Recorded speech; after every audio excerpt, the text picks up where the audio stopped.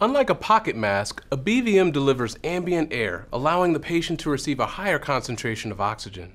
If local protocols allow, supplemental oxygen should be attached to the BVM as soon as appropriate and when enough resources are available.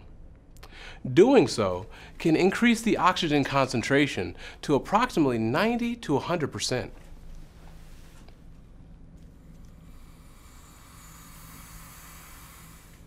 When you're the only provider present to operate the BVM, follow these steps. First, select an appropriately sized BVM. Then, if necessary, assemble the BVM.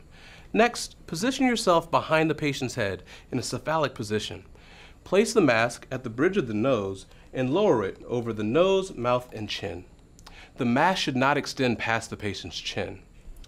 To hold the mask in place, position one hand around the mask forming a C with the thumb and index finger and an E with the last three fingers. This is the EC hand position. Then, seal the mask completely around the patient's mouth and nose by lifting the jaw into the mask. Be sure to maintain an open airway in the past neutral position. Depress the bag about halfway to deliver a volume of 400 to 700 milliliters. Provide smooth, effortless ventilations that last about one second and begin to make the chest rise.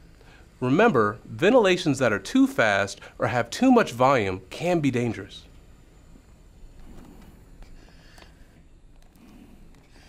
Although a single provider often uses a BVM, evidence shows that two providers are needed to most effectively operate the equipment.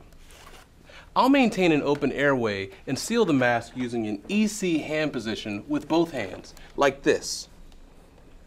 And while Greg is doing that, I'll deliver ventilations by gently squeezing the bag about halfway to make the chest begin to rise, like this. Each ventilation should last about one second.